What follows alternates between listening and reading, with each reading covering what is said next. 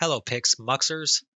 Today I'm going to show you for a tutorial how to create a bookmark and to show your bookmarks bar in Google Chrome. Without any further ado, let's get right to it. Step 1. Let's open Google Chrome. If you don't have Google Chrome installed, you can check my previous video on how to install it. So if you go to a website that you really like,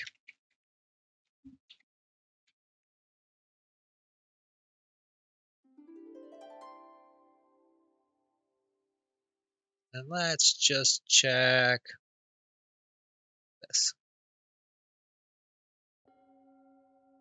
Okay, let's say I really like this website. I'm going to visit it very often. So bookmarking is the best way. To bookmark it, you select the little star here in the upper right hand corner. Now I want to save that to my bookmark bar. Hit done.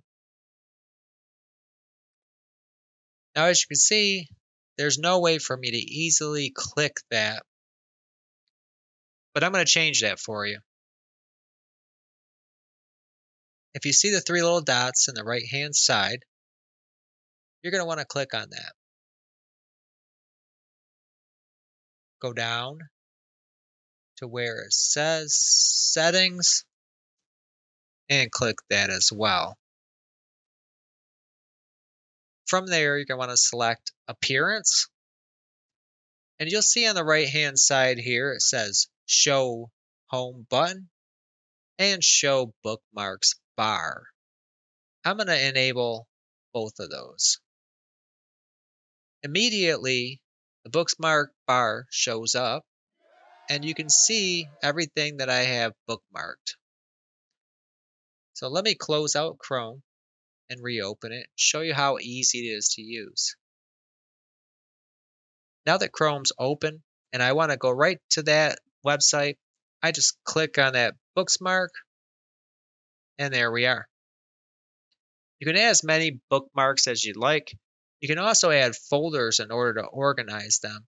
If you right click on the bookmark bar, you can actually add folder. And we can name those folders whatever we like.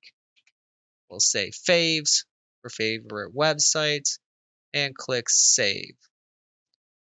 Now I can grab any of these bookmarks, drag them and drop them into that folder and organize these folders to organize my life. Thank you for watching again. Don't forget to like and subscribe. See you next episode.